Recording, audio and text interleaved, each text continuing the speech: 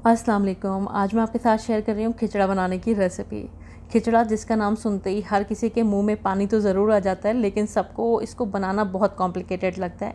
सबको लगता है इसको बनाने में बहुत लवाजमात हैं, बहुत टाइम चाहिए, लेकिन ऐसा बिल्कुल भी नहीं है। थोड़ी सी तैयारी आप थोड़े ही टाइम पहले कर लें, बहुत बेहतरीन आपका खिचड़ा बन जाएगा। तो चलिए देख लेते हैं कैसे बनाना है। तो यहाँ पर सबसे पहले हमें दो कप, यानी कि 400 ग्राम गेहूँ चाहिए हैं। ये कुटे हुए गेहूँ हैं, जो कि आपको बहुत आसानी से पंसारी की दुकान पर मिल जाएँगे। इन गेहूँ का ऊपर का छिलका उतरा हुआ मिलता है मार्केट में। तो पहले ज़माने में तो इनको घर पर कूट कर ख़ुद से बनाया जाता था, लेकिन अब आसानी से ये मार्केट में दस्तयाब है।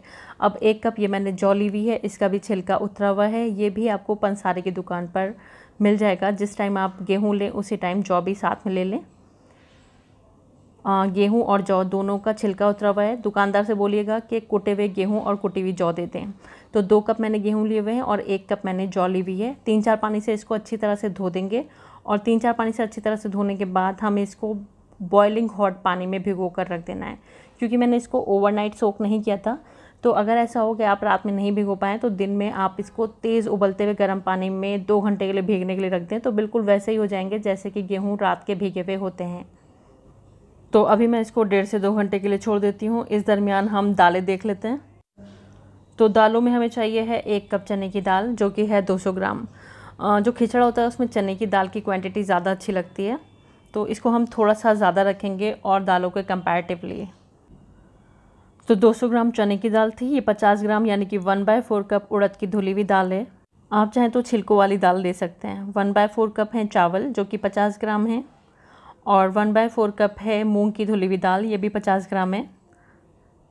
और वन बाय फोर कप लेंगे तुअर की दाल, यानी कि अरहर की दाल, ये भी पचास ग्राम है। और वन बाय फोर कप लेंगे मसूर की धुली हुई दाल, ये भी पचास ग्राम है। अब इन दालों को तीन चार पानी से अच्छी तरह से धो देंगे और फिर इसको हम आधे घंटे के लिए भीगने के लिए रख देंगे। इन दालों को नॉर्मल पानी में भिगोएँगे तो चलेगा। और आधा से पौन घंटा सफिशेंट है इन दालों को भिगोने के लिए, इसलिए इनको बहुत पहले से भिगोने की ज़रूरत नहीं है। जब तक दालें भीग रही हैं, हम जो गोश्त यूज़ करेंगे, उसके लिए मसाला तैयार कर लेते हैं। एक टेबल स्पून ले लेंगे नमक, दो टेबल स्पून ले लेंगे लाल मिर्च का पाउडर और चार टेबल स्पून ले लेंगे धनिए का powder one and half teaspoon हल्दी का पाउडर डालेंगे और दो टीस्पून गरम मसाले का पाउडर डाल देंगे। अब अदरक लहसुन का पेस्ट जाएगा तो दो टेबल स्पून अदरक का पेस्ट और दो टेबल स्पून लहसुन का पेस्ट इसमें डाल देंगे। अब इसमें एक कप के करीब पानी डाल देंगे और इस मसाले को घोल कर अभी एक साइड में रख देंगे। इससे मसाला थोड़ा सा फूल जाता है और पहले से बना लेते हैं तो आसानी भी रहती है यूज़ करने के लिए।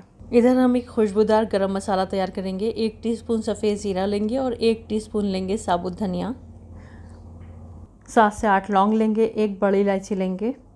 और आठ से नौ छोटी इलायची लेंगे और एक टीस्पून काली मिर्च लेंगे और दो इंच का एक दालचीनी का टुकड़ा लेंगे। मिक्सी के जार में डालकर इसको स्मूथली ग्राइंड कर लेंगे। हमारा गरम मसाला बनकर तैयार है।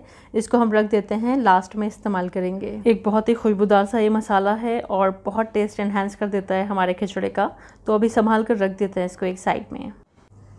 हमारी दालें भीग चुकी हैं तो इनको एक प्रेशर कुकर में ट्रांसफ़र कर देंगे और इसमें पानी शामिल कर देंगे। तो मैं नॉर्मल टेम्परेचर का पानी इसमें डाल रही हूँ। तकरीबन मैंने इसमें डाला है डेढ़ लीटर पानी, यानी कि छः कप मैंने इसमें पानी डाला है।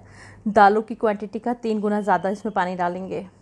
तो यहाँ पर दालें तकरीबन 500 ग्राम थी तो डेढ़ लीटर मैंने पानी का इस्तेमाल किया है। अब इसमें नमक डाल देंगे एक टेबल स्पून और हल्दी डाल देंगे एक टीस्पून प्रेशर कुकर की लेड लगा देंगे और इसको पकने के लिए रख देंगे। हाई फ्लेम पर एक प्रेशर आने के बाद 10 मिनट के लिए इसको लो फ्लेम पर पकाएँगे, फिर इसके प्रेशर को खुद से निकलने देंगे। जब इसका प्रेशर खुद से निकल जाएगा, हम चेक करेंगे।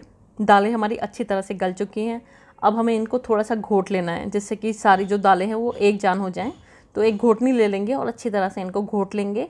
और अब हमें इस कुकर को खाली कर लेना है, क्योंकि अब हमें गला लेने हैं गेहूँ। तो मैंने यहाँ पर दाल को एक दूसरे वैसल में ट्रांसफ़र कर दिया है। तो जिस बर्तन में आपको खिचड़ा बनाना है, उसमें आप इसको पलट दीजिएगा और इसको रख दीजिएगा अभी एक साइड में। इधर गेहूँ और जौ भीग चुका है तो इसको हम कुकर में डाल देंगे।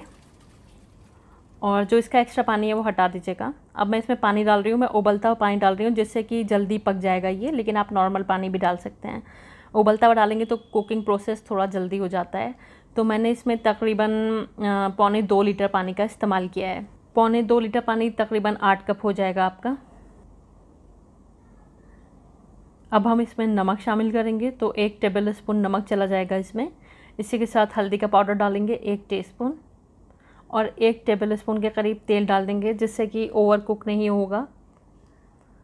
अब प्रेशर कुकर की लिड लगा देंगे। हाई फ्लेम पर एक प्रेशर आने के बाद गैस की फ्लेम को लो करके 30 से 35 मिनट के लिए इसको पकाएँगे, क्योंकि ये गेहूँ और जौ है, इसलिए पकने में थोड़ा ज़्यादा टाइम लेगा। अगर आप थोड़ा सा भी कम टाइम रखेंगे तो थोड़ा सा कच्चा रह जाता है गेहूँ।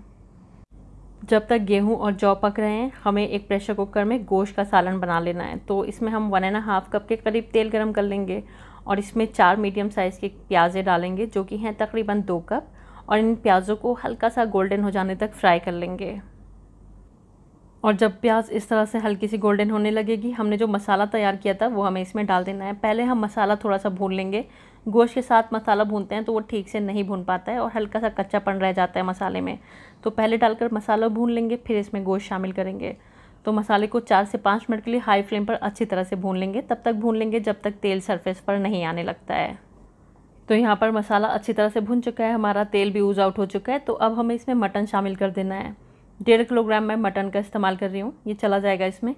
आप अपनी पसंद का कोई भी मीट यहाँ पर यूज़ कर सकते हैं। और अब हमें मटन भी भून लेना है हाई फ्लेम पर। आठ से दस मिनट के लिए इसको अच्छी तरह से भून लेंगे। मसाला अच्छी तरह से भुना होता है तो खिचड़ा बहुत अच्छा बनकर तैयार होता है। यहाँ पर हाई फ्लेम पर मैंने 10 मिनट के लिए करीब गोश्त को अच्छी तरह से भून लिया है मसालों के साथ। अब हमें गोश्त गला लेना है। इसमें हम दो कप पानी ऐड कर देंगे, यानी कि तकरीबन आधा लीटर इसमें पानी शामिल कर देंगे और इसमें प्रेशर कुकर की लेड लगा देंगे। हाई फ्लेम पर एक प्रेशर आने के बाद गैस के फ्लेम को लो करके 10 से 12 मिनट के लिए इसको पकाएँगे। और 10 से 12 मिनट के बाद गैस की फ्लेम को ऑफ़ कर देंगे और इसके प्रेशर को खुद से निकलने देंगे। जब इसका प्रेशर खुद से निकल जाएगा, तब हम इसको चेक करेंगे। तो जब इसका प्रेशर खुद से निकल गया, तब मैंने इसको चेक किया और गोश्त अच्छी तरह से गल चुका है, एकदम सॉफ्ट हो चुका है और हमारा मटन का ग्रेवी खिचड़ी के लिए बनकर तैयार है। और इधर हम गेहूँ भी चेक कर लेते हैं। गेहूँ भी अच्छी तरह से गल चुके हैं। गेहूँ और जौ खूब अच्छे से गल चुका है। तो इसको भी हमें घोटने की मदद से अच्छी तरह से घोट लेना है। तो जितना अच्छे से आप इसको घोट पाएँ, उतना अच्छे से घोट लीजिएगा। अब जिस बर्तन में हमने दालें ट्रांसफ़र की थी, उसी में हमें गेहूँ को भी ट्रांसफ़र कर देना है। गेहूँ और जौ को भी ट्रांसफ़र कर देंगे और एक बार फिर से घोटने की मदद से इसको अच्छी तरह से घोट देंगे, जिससे कि जो दालें हैं, जौ और गेहूँ हैं, आपस में बहुत अच्छी तरह से मिक्स हो जाएँगे। अब हमने जो गोश्त के साथ ग्रेवी बनाई हुई है, वो हमें इसमें डाल देनी है। और गैस की फ्लेम को ऑन कर देना है। हाई फ्लेम पर अब हमें इसमें मिक्सिंग करनी है। इससे क्या होगा, ग्रेवी भी अच्छी तरह से दालों और गेहूँ में मिक्स हो जाएगी और नीचे से हमारा जो खिचड़ा है वो पकना भी शुरू हो जाएगा। तो नीचे मैंने गैस की फ्लेम खोल दी है और अब हम इसको अच्छी तरह से मिलाएँगे। इतनी अच्छी तरह से मिलाएँगे कि ये जो ग्रेवी है ये दिखना बंद हो जाएगी। मुझे अब यहाँ पर खिचड़ा थोड़ा गाढ़ा लग रहा है तो मैं एक कप इसमें गर्म पानी शामिल कर रही हूँ। पानी आप इसमें बीच में शामिल कर सकते हैं जितना आप चाहें, लेकिन गर्म पानी ऐड कीजिएगा। इसकी कंसिस्टेंसी को आप अपने अकॉर्डिंगली एडजस्ट कर सकते हैं, लेकिन ये ध्यान रखिएगा कि आपको गर्म पानी ऐड करना है, ठंडा पानी ऐड नहीं करना है। अब हमने जो खुशबूदार गर्म मसाला तैयार किया था, वो हमें इसमें पूरा डाल देना है। बहुत ज़बरदस्त खुशबू आ जाती है जब हम इसमें ये मसाला शामिल करते हैं। इसको मिला देंगे और इसी के साथ मैं इसमें चाट मसाले का पाउडर भी ऐड कर रही हूँ। वैसे रवायती खिचड़ों में चाट मसाले का पाउडर नहीं डालते हैं, लेकिन अगर आप डालेंगे तो इसका टेस्ट बढ़ ही जाता है। तो ऑप्शनल है, डालना चाहें तो डाल लीजिएगा, दो टीस्पून के करीब। हमें हाई फ्लेम पर खिचड़े में एक उबाल आने का वेट कर लेना है। जब उबाल आ जाए, गैस की फ्लेम को लो करके 10 से 12 मिनट के लिए इसको पकाएँगे, जिससे कि क्या होगा, सारे फ्लेवर्स अच्छी तरह से एक दूसरे में जज्ब हो जाएँगे। बस ये ध्यान रखिएगा कि नीचे से खिचड़ा लगे नहीं, अगर लग जाता है तो फिर अजीब सी महक आ जाती है, पूरे खिचड़े में टेस्ट ख़राब हो जाता है। तो तकरीबन मैंने इसको 12 से 15 मिनट लो फ्लेम पर पकाया है। अब मुझे गैस की फ्लेम को बंद कर देना है और अब इसमें हम थोड़ी सी गार्निशिंग कर लेंगे। तली हुई प्याज है ये और हरा धनिया, हरी मिर्च जुलियन कटी हुई अदरक। आप चाहें तो इसमें प्याज का तड़का भी लगा सकते हैं, लेकिन ऑलरेडी मैं काफ़ी तेल यूज़ कर चुकी हूँ तो मैंने इसमें प्याज का तड़का नहीं लगाया है। और इस तरह से बहुत ही ज़बरदस्त हमारा खिचड़ा बनकर रेडी है। आप देख सकते हैं, देखने में ये जितना टेम्पटिंग लग रहा है, खाने में उतना ही लाजवाब है। बहुत मज़े का बनता है। बेहतरीन हमारा खिचड़ा बनकर तैयार है। बस हल्का हल्का सा मिला देंगे इसको और ये अब सर्व करने के लिए तैयार है। तो चलिए अब इसको सर्व कर लेते हैं। और इस तरह से बेहतरीन खिचड़ा बनकर तैयार है और आपने देखा, इसको बनाने के लिए हमें बहुत पहले से तैयारी नहीं करनी पड़ी। जब आपका इरादा हो, बस दो घंटे पहले आपको थोड़ा सा भिगो देना है और बेहतरीन आपका खिचड़ा बनकर तैयार हो जाएगा। इसके साथ आप तली हुई प्याज यूज़ करें और नींबू, हरी मिर्च, जुलियन कटी हुई अदरक, हरा धनिया वगैरह ऊपर से गार्निश करके इसको सर्व करें, बहुत अच्छा लगता है। और हाँ नींबू का रस निचोड़ना मत भूलिएगा, क्योंकि नींबू के रस का इसमें बहुत अहम रोल है, बहुत टेस्ट एनहेंस कर देता है।